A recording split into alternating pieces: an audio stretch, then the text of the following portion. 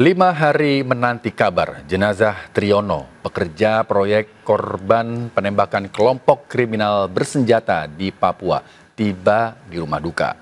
Keluarga histeris korban yang baru bekerja satu setengah bulan di Papua pulang dalam kondisi tidak bernyawa.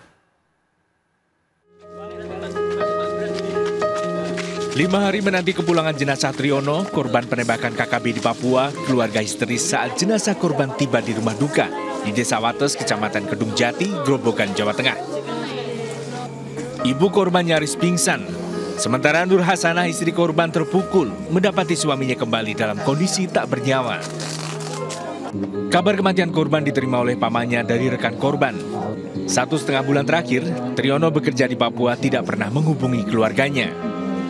Istri korban bahkan sempat berusaha mencari kabar korban dan keberadaan Triono melalui istri rekan kerja korban. Setelah berhasil dihubungi, justru kabar duka yang diterima. Triono tewas tertembak KKB bersama dua rekan kerjanya. Semoga harapan keluarga ya, pihak-pihak yang terkait bisa membantu Pak harapan sini, bisa membantu apa yang ditimpa oleh keluarga anu, keponakan saya. Triono merupakan tulang punggung keluarga, meninggalkan istri, tiga anak, dan kedua orang tuanya. Keluarga meminta pelaksana proyek serta pemerintah bertanggung jawab atas penembakan KKB yang menewaskan Triono dan memberikan hak korban. Lantaran korban bekerja membangun proyek gedung kesehatan pemerintah Papua yang seharusnya mendapat perlindungan dan keselamatan. Dari Gerobokan Jawa Tengah, Rustama Nusantara, iNews melaporkan.